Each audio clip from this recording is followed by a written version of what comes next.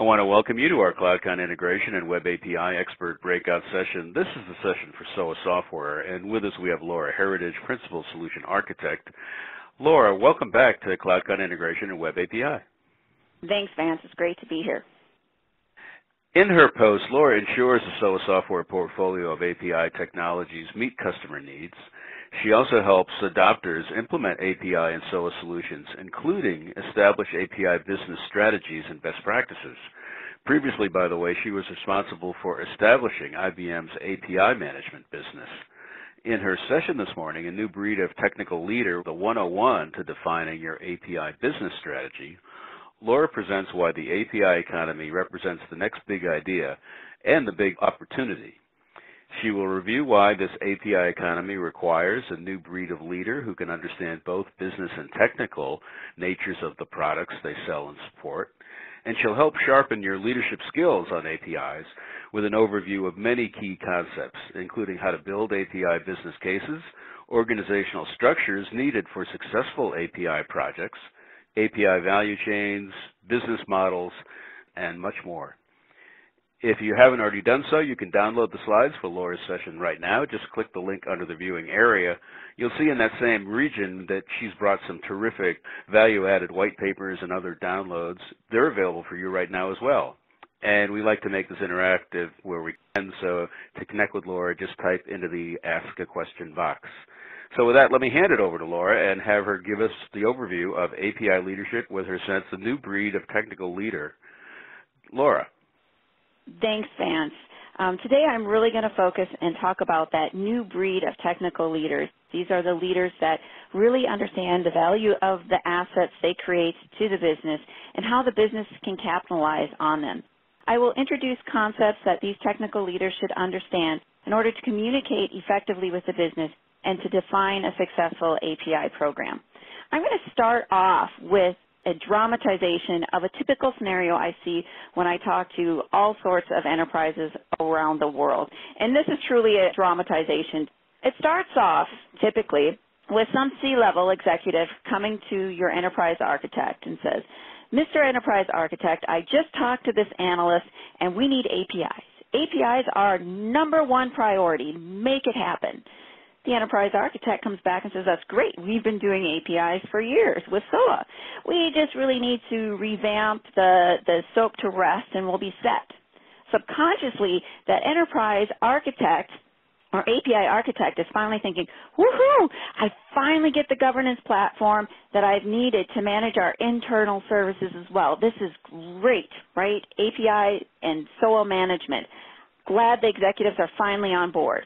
So he goes back and says, we need an API platform to help us do this revamp. And then also the API platform allows us to provide easier consumption, security monetization, so all this great things, Mr. C-level. Mr. Business Sponsor, can I have the money for this platform? The business sponsor typically looks at the enterprise architect and says, Mr. Enterprise Architect, what on earth is that going to do for my business? And so the enterprise architect sits there and goes, hmm, well, of course, it extends the reach of your business. That's what APIs do. That's what the messages are out on the market. It takes our company and puts us in tablets. It puts us in mobile phones. It puts us in smartphones, connected cars, refrigerators, everything. And the business sponsor just sits there and looks at him with a, a blank face. That is IT mumbo jumbo. What does that really mean? Again, what does that have to do with my business? Aren't you guys, that's technical stuff. Aren't you doing that anyway? Right? Isn't that business as usual? Stop the show. Stop and think. We need to communicate better with the business because to an enterprise architect, the benefits of an API strategy and API platform are obvious. And we can typically, from an enterprise architect or a technical perspective, we can typically um, segment to four different adoption patterns, right? The first adoption pattern stems from that SOA era and establishing an API, taking SOA to the next level and establishing an API culture internally to really allow innovation to occur and to prepare you to go to mobile, better reach with your partners and eventual to that external innovation and platform notion that we so hear about from the API economy perspective. The enterprise architects see the business value very obviously, okay? Your business executives will not find it obvious. They just won't, right? You'll paint these beautiful pictures and they just won't get it. You need to show them the money. You need to really specifically show them the money of where they can find the value to the business in order to get the API platform you need, in order to establish an API culture, in order to reach those different adoption patterns. For example, let's take a different interaction with the banking scenario. The enterprise architects and teams, you really need to find and talk with those business sponsors, those executive business sponsors. Figure out what they are trying to do with the business.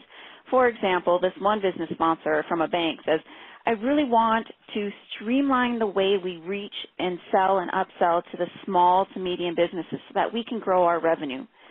The business executive from the bank says, what I found is that small to medium businesses spend a large majority of their time just trying to do the day-to-day tasks of managing their business instead of focusing on their business. It loses revenue for them and it loses revenue for us. So how can we make that better? This is where the enterprise architect, who understands everything that's going around in the enterprise, from the products and services that the enterprise use itself to run the bank, as well as the products and services that it puts out to everyone else. So, for example, this enterprise architecture says, we have some core business functions that would help small to medium businesses run their businesses easier. What we could do is we could expose these as API services and either sell them to the small to medium businesses or give them away. And this could be a mechanism to get more business from that small to medium market, plus make the business owners of those small to medium jobs easier so they can concentrate on their business and bring in more revenue.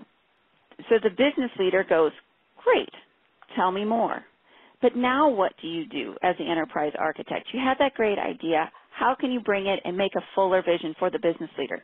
You need to do your research. You need to build a straw man business case. You need to go look out what your competitors are doing. Simply go out on the internet, look at what your competitors are doing. You need to build a business case with projection of revenue impact. These numbers don't have to necessarily be real because you might not know those numbers right? But you can put in some placeholder numbers that can be filled in by someone that does later. But really just start to build that straw man business case with projections. And then show them a pilot execution plan. So if you were going to take this, what would it take just to do a small pilot to prove out your business case? So really, it's do your research and build a straw man business case. You don't have to be an expert at building business cases to do this. Anyone can do it but it really helps get your ideas across. You present this strawman business case to your business sponsor and he's like, wow, that sounds good. That's a good idea. What do we need to do? The enterprise architect is thinking in his head, yes, success. I get my API management platform. But that's just the beginning. That's just the technical thing. So what you need to do from that strawman business case is you really must treat this new API as a product. You need to establish a team that really has to go through and build the real business case, build the real market analysis and competitive analysis and, you know, establish business models and sales executions communication plans and you know obviously the enterprise architect's favorite the technical platform and the support required to actually bring this new API as a product into reality. So there's a lot of things that need to go around this API as a product. And you as a new technical leader need to have an understanding of all of these pieces that must fit together. So when we look at who are the digital stakeholders in this new enterprise? There's new roles emerging, and you can see that by querying LinkedIn or Googling all over. But from an executive sponsor's perspective, and this isn't an all-encompassing role, these are just a few of the key roles, you typically have a business sponsor, the guy that we are talking to. A new role that is very popular and emerging across every enterprise that I'm talking to is a chief digital officer. They're typically involved for all of the mobile initiatives and basically taking the company to the next step into this digital world. So they're going to be a very good ally from the enterprise architecture team standpoint. You really need to get to know and understand your chief digital officer. Another incredibly important person in the enterprise is the chief information and security officer. Everything from PCI compliance to controlling and securing the data that's within your enterprise. There's new security breaches every day across every enterprise, so this guy is going to be incredibly important. And then now when you go down to the API, this is a relatively new set of folks in the enterprise as well. Or it's a set of folks who are taking their skills to the next level and vamping them up. For example, you need an API product manager, and this is where I'm saying this is one of the new breeds of technical leader. This person is very technical and understands APIs and the API economy, but also has a very keen sense to the business, right, and how basically on that first chart that I show how all of those pieces fit together and work together. And so from an enterprise architecture perspective, this person is going to be a very key ally as well. And you need someone with that experience that can link everything together. The enterprise architects, API architects, security architects, they have a very strong role on the API team as well.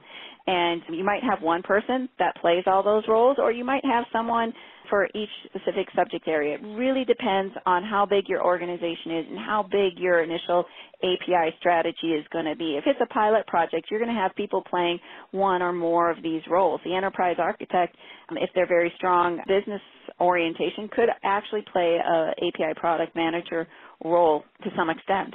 You're going to have an API developer who is responsible for the API design and developing out that API.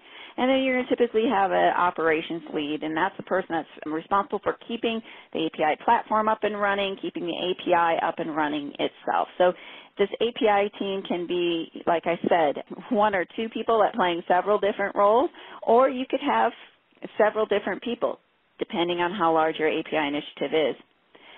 Most importantly is your go-to-market team okay? And we're going to get into this where you have a developer advocate that is if you're having a truly external API strategy, right, where you're trying to reach that long tail developer, a developer advocate is going to be incredibly important. This is a person that is a developer themselves that can communicate and talk just like the developer and understands what developers want. They become your liaison and person that communicates with them. Digital marketing person. They say developers don't like to be marketed to, but it really depends on which developer market segment you're going after. Are you going after a partner market segment in a particular vertical or where you're trying to reach? And we'll talk more about that in a minute. And then you have your digital sales. If your API strategy is really about monetization that provides direct revenue, you're going to need to sell that API and have a sales force team and so forth. And we'll talk a little bit about that later. The next thing I want to talk about that everybody on your team needs to understand is really that value chain of that API. And typically the product manager should definitely know the value chain of what API you're trying to produce and work with the team to establish it. The product manager must not only understand why an app developer would want to use that API, but also why the end user would want to use an app that the developer is trying to make understanding that full value chain will help you create an API that will most likely drive the results that you're trying to build, which is increase in revenue, get more of those end users which drive revenue for you. So where do you source the API from?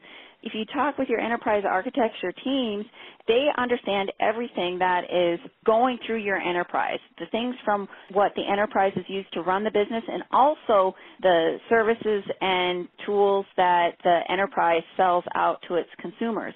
So you can go source things from your existing business processes, your existing SOA services, any cloud services that you might use, there's databases of information, there's mainframe applications, and there's BI systems with tons of information in there that depending on what you're trying to do, for example, back in the banking scenario I gave earlier, you might take some of the core business functions that you use to run your business and say, you know what, we can carve this out, put a API around it, and put it out as a service for our small to medium businesses, and then sell, upsell different loans and other types of services to them through that mechanism. So there's different ways you can take a look at what you have, some of the things that you take for granted day to day and actually make and grow your business on those things. When you've identified the asset that you want to expose, the next thing is to come up with a business model for that particular asset. And it really depends on that particular asset and what you're trying to do with it from an API perspective. Because there's free APIs, there's APIs where the developer has to pay, and there's APIs where the developer gets paid, and then there's the indirect model where you have APIs that are out there that actually drive revenue because they direct traffic or direct folks, your consumers, to another area of your business where you see the revenue increase. And I want to thank John Musser, who is the founder of Programmable Web and API Science. I asked him if I could borrow his charts because in the true nature of APIs, I'm reusing instead of spending my time on rebuilding these wonderful charts that he created.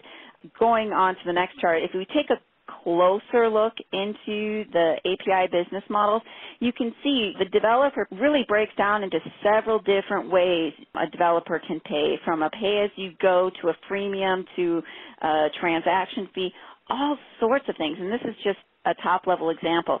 So if we take a closer look at those business models, you can really tell that it breaks down even further into developer pays.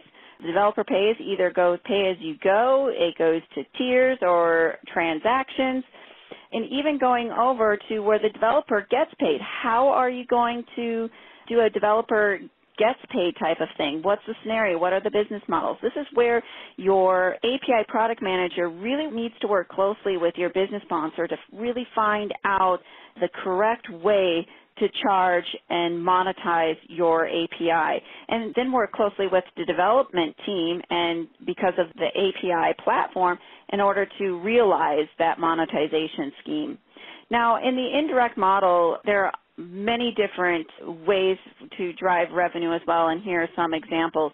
Now, one of the mechanisms for the indirect model is the internal use of the APIs, which is by far the largest adoption of an API strategy is actually establishing an API culture within your enterprise, which is what typically the enterprise architects are trying to do to take their SOA to the next level. By far, the largest adopters of the APIs. And when you start out with one strategy for your API, it'll change and it'll evolve as you grow and you learn about your product. Now, besides establishing a business model around your APIs, you really need to establish communication plans. And there's several different communication plans. Here's an example of a communication plan that I created for what should happen when a partner or developer reports a problem. What are the steps? Who gets notified? So for the developer, I found a problem. He opens a ticket. The API developer notifies the app developer that they received the ticket. The API developer then notifies the product manager if it is a major problem that needs her attention. If it's even a major, if it's a security related problem, there needs to be a mechanism in place for the API product manager to notify the chief information security officer. So there's mechanisms and plans that need to be put in place. And then also the API developer also lets the developer advocate know so that the developer advocate can communicate the information and issue to the rest of the developer community to make sure that the developer community is well aware. Developers, they like information. They don't want to sit there and waste hours and hours on a debugging bug that the API provider already knew about but just didn't tell them. So be courteous to your development community. Don't waste their time. Now, other types of communication plans that are going to need to be put in place is communications of plans around an API release, new versioning. How does that happen? Do you need to notify the API developer needs to notify the product manager, the product manager needs to notify the marketing and sales and all that kind of stuff. And there's tools around, and SOA Software provides tools that help you establish different communication plans that are necessary to support your API initiative, no matter if the API initiative is any one of those adoption patterns, be it internal, mobile, partner, or truly that external. I just put one example of communication plan, but there are several.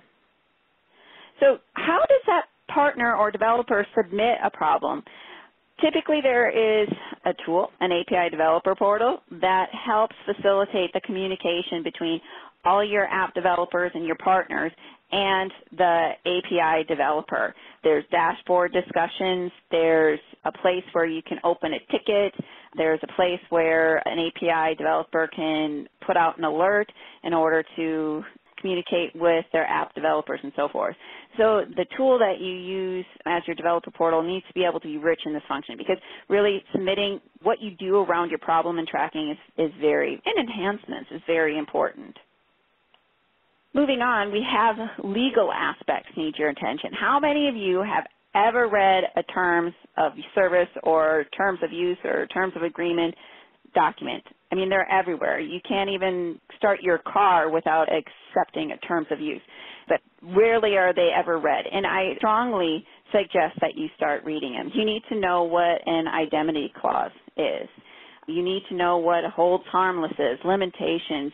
You need to be able to know that you need to put a commercial license in your commercial clause in your terms of use so that the developer, if they build something, they can actually sell whatever they build. All those type of things are, are very important. The other thing that's very important is that the terms and conditions you create should be able to be readable by a human, not a lawyer. Okay, very important. Because if your terms and conditions is too difficult to read, too much legal jargon, most of the developers, if you're trying to reach that long tail developer community, they will pass your API by and use a API with even less function but has a more readable terms and conditions because they don't want to have to hire a lawyer to read the terms and conditions that you set forth. Basically, we have to do market segmentation of who you're trying to reach with your API and make the terms of conditions pertinent for that particular market segment. So if you're just going after partners of large corporations that do have a large legal firm, and you need a little bit more protection, you can do that. But if you're going to the way other end of the spectrum, you need to be aware of these terms and conditions. As I was talking about earlier, information security. Need I say more? I mean, really very important. Weekly we hear about credit card breaches and you have to go and reset your password in every one of the systems you use because so-and-so you went and used your credit card at this particular retail store and now your credit card information's out there. You need to understand what PCI compliance is. If you're using OAuth, and you do API keys and secrets and all of the stuff around security. Very, very important when considering API strategy. API marketing plan. Again, as I was talking about before, you need to know what type of developers, partners are you targeting. Is this API strategy going off to just known partners in a particular pool because you're trying to make connecting with them easier and so forth? Is it a truly external developer type of API that you're going after to drive innovation. Even within that particular large developer community, there's different types of developers out there and you need to segment and figure out which part you're trying to go after and how you're going to work with them. And does your API and services you're delivering meet the needs of that particular target that your market segment that you're targeting? You need to understand what types of messages resonate with them, what types of campaigns you will need to do. Can you reach your target through trade shows? Is that where your target marketplace goes? Or do you need some other type of way to communicate and reach those, the target market? For example, will hackathons increase adoption rate and provide the benefit that you're trying to look at? Do you need to hire an outside marketing firm to help you reach your target?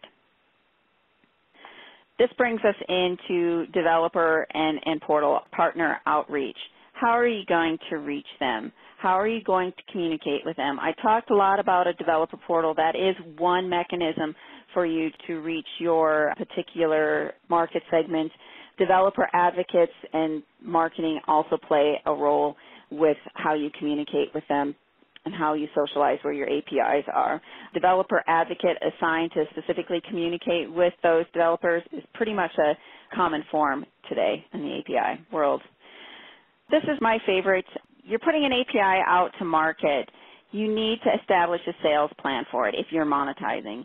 It's not a build it, they will come. Even SaaS needs a sales force, especially if you're enterprise and working on a new strategy for your enterprise, you need to invest in a sales force that understands how to sell the API, how to sell the services to your particular target market area. Otherwise, without a proper sales plan, you will fail. The business will come to you and say, look, you said if we put this API out there, we would open a completely new channel. Money would just be flowing through this API. It doesn't flow through the API if nobody knows the API is there, nobody knows how to use the API, and nobody's bought the API. So you really need to establish that team in order to build that. You need the proper marketing, you need the proper developer advocacy, you need the proper sales plans in place in order to have a successful API strategy if you're going external to partners and to that external long-tail developer. And I would even contend that even applies from an internal perspective when you're dealing with trying to establish an API community with in an enterprise. You need developer advocates. You need a specific level of internal marketing to get people to use the API and make them aware that they're there. And some aspects you do need to go out and sell to different lines of businesses why they need to use this particular API. You need to treat it as a business. So with that, each stakeholder will need tools to be successful, all the way down from the lifecycle management. They need to be able to build the services and APIs in the right way. They'll need tools to help speed up development of those through using service integration. You'll need service gateways to secure and protect your systems. You'll need developer engagement, developer communities in order to build that ecosystem with any one of those adoption scenarios, from internal adoption all the way out through partner and external adoption. And all of them, especially for the business, need a way for the business to view and utilize the analytics from the API's usage. A good API platform, a unified API platform, will address the needs of multiple stakeholders, everywhere from the business on analytics, monetization, quota management, partner management, licensing, all of that good stuff, through to security of the gateway, authentication, PCI, the development of mediations, life cycle and so forth, and then all the way out to the developer portal where everybody is going to come to search, document, and group. And the API platform that you put in place should be able to be in place for internal API management and grow with you to the partner relationship management and all the way out to the external world. It should be one platform. You shouldn't need several different platforms to do all of that. SOA software provides unified SOA and API platform it consists of three core capabilities. The lifecycle management to help the development team and enterprise architectures teams to build the right services and APIs and make that happen very quickly to the gateway to help you assemble and orchestrate and secure and cache and accelerate your APIs, and then to the developer community manager where your business, your API product managers, your API architects and your business can work on to establish the product plans and licenses and policies that go for using the APIs to analyzing the API's usage and, and, the monetary results from that. Slide 26 shows the unified platform and how that supports each stakeholder, how they would interact. And I just went through that on the previous page, as you can see from the community manager perspective, where API product managers, executive sponsors utilize that community manager with the app developer partner utilizing the community manager as well. The API developer uses Community Manager to communicate with those app developers and partners and developer advocate as well. And moving on down. So you can see that SOA software provides that complete unified platform that snaps together and works together based on the needs of your business at the time. That platform is available in a flexible deployment model. We have a complete PaaS offering so you can get started quickly in the cloud if you're doing any partner or external API management to begin with. Or if you are working on getting your internal API management solution in order, have sensitive data and want it on completely on-premise. SOA software solution is available as a completely on-premise solution. And this on-premise solution can then take you out to your partner and external developer community as well. And some customers choose a hybrid model where they have the unified gateway on-premise and they leverage the community manager in the cloud and the SaaS-based platforms that helps you bridge on-premise to the cloud in a very unique fashion. And that's my overview today of a new breed of technical leaders and all of the things that they should keep in mind as they go to the future so that they can easily talk and provide the value of their assets to the business and actually fundamentally help the business change to meet the new digital enterprise. We have several resources available on SOA.com. The Resource Center is specifically resource.soa.com, and you can find other recordings and webinars at the Resource Center as well. Please follow us on Twitter, Facebook, and LinkedIn. We'd love to hear from you. That concludes my formal remarks. I'm going to turn it back over to Vance. Laura, great session. Really embracing not just the uh, technology issues, but also the organizational ones and the ways to think and scope about an API initiative. Really great session. Thank you very much. Thank you. And as you might expect, you've triggered some questions from both sides of the brain, the business as well as the technical. So let's begin with uh, your conversation about stakeholders. You spent a lot of time on that. It's very interesting to see how all these different people that may not work together on a day-to-day basis have a lot to offer in the context of an API initiative or discussion. So this idea of stakeholders for API and what you call the digital enterprise, a question comes in, is this a complete list that you posted on your slide? And relatedly, do I need to assemble all these people at the start, or can I build out this community over time as we do more and more projects? This isn't a complete list of the digital enterprise, but it is it is a is a basic list of the digital enterprise. And no, you don't have to have a person to fill each one of those roles right? A separate person for each one. A single person can play multiple roles in the digital enterprise, but you are going to need um, to have someone that is a, a business sponsor. You are going to need someone that can play that API product management role if you are monetizing and taking your API out externally to partners or to that external developers. If your API initiative is purely an internal API management initiative, which large majority of them are, the enterprise architecture team or someone on the somebody that reports the digital officer um, typically can play that that role from an internal API standpoint. So the roles are flexible, but you do need to have someone that can play multiple roles or you need someone to fill the roles that I at least have defined. You know, Laura, as I look at the picture of the slide, how you've painted it out, it almost seems as though you're helping create a roadmap for a new center of excellence where the success isn't just SLAs or QoS or things that, you know, IT architects would think about. It's really this convergence of the technical and the business not just business uh, tactical success, but the overall business strategy. And that when you have all these people in place, you've kind of got an API center of excellence. Is that one way to think about it? that's a that's a very good strong analogy of what we're doing. We're actually, if you have a center of excellence in place, I, I we say that API and SOA is, is converging. And I would say yes, it is from a technical perspective and how you use SOA. It is definitely converging. But when you look at it from a methodology or a management point of view, I would say that from that perspective, API is an extension. So this API Center of Excellence that you see here on the slide, as you call it, is really uh, an extension of your um, SOA Center of Excellence. So very good, very good analogy there. Okay, great. Excellent.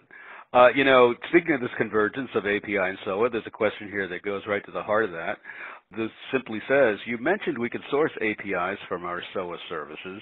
Is that a simple one-to-one mapping? And if not, how would we go about getting started? You know, wouldn't it be nice if it was simple one-to-one? I think in some aspects it's it's a simple one-to-one mapping, um, especially if you already have a partner initiative already that's uh, SOA-based right? So maybe you already have some SOA services that you've uh, exposed out to partners and you want to take that to the next level. You might um, be able to just restify that, establish a, a partner portal, and accelerate the drive of that business that way. In those cases, it can be a one-to-one. In, in most cases, Um, the, the SOA services are going to need to be revamped, as I said, or tweaked, or combined with other assets in order to really make that valued asset that a developer would want to write an app for, for which a end user would want to consume. And to do that, API platforms, as I mentioned, provide an excellent capability to help orchestrate, revamp your, your SOA services um, to become APIs. You know, on that same theme, Laura, this convergence of API, and SOA uh, question comes in. We mainly have B2B and A2A APIs. Will the API management platform for SOA software help us there? Very good question. And yes, it definitely will help you in a a B2B and A2A scenario. In fact, a large majority of initial API um, strategies start off with B2B and A2A. And, and so from a SOA software perspective, we have focused heavily on helping enterprises with those needs. You know, Laura, your slide about the straw man, uh, even though it was only a business case, triggered an interesting comment from the IT perspective.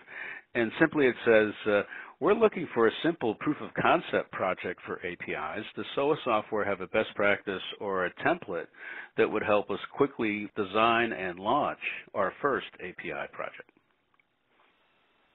That is a very good question. And yes, we do. Uh, SOA software does have a practice that can um, help you build business case and a strawman business case in order to do uh, proof of concepts. In fact, that's largely what I do um, at, at enterprise customers, really help go in there, take a look, build those strawmans, and, and help you from an enterprise architecture perspective or uh, an IT perspective um, champion and talk to your various stakeholders to build that. Uh, you know, Laura, this other issue about, I mean, IT knows a lot about governance and SLAs, but when you talked about terms and conditions, that seems a little more legalistic than IT might be traditionally familiar with. And so the question here says, uh, how can the API platform help us manage these terms and conditions for acceptance of outside users, whether they be developers or partners? There's very good questions coming up today, um, and so how do you manage your terms and conditions acceptance is, is another very good one. SOA Software's developer portal provides license management, terms and conditions management, and you can actually put a life cycle around the acceptance of the, the terms and conditions. Um, so for example, if you have a longer process, boarding process with partners and you have to do a couple different handshakes on both sides, uh, we can put a life cycle around those handshakes and then also record the interactions for later auditing and, and legal use for you. The fully integrated platform is available uh, in the cloud and you can get a trial. Just go to SOA.com and click on Try Now. Oh, cool. Really great. Laura Heritage, Principal Solution Architect at SOA Software, thanks for a terrific session on leadership in API as well as taking so many questions. Really appreciate it. Thank you. And as we like to do here at CloudCon Integration and Web API, we're going to leave a slide up here. Laura mentioned some great resources. Some of them are right here underneath the viewing area in the SOA Software breakout room, but others you'll have to go to the SOA Software website, including to get uh, information and to subscribe uh, for the free trial. Thanks again, everyone.